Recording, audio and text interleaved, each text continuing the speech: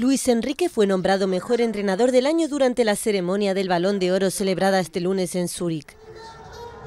El técnico hizo que el Barcelona ganara en 2015 cinco de los seis títulos que disputó. Dejó por el camino a Pep Guardiola del Bayern de Múnich y al seleccionador de Chile Jorge Sampaoli.